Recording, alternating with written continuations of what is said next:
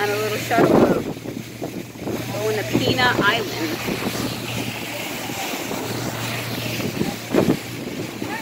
Oh,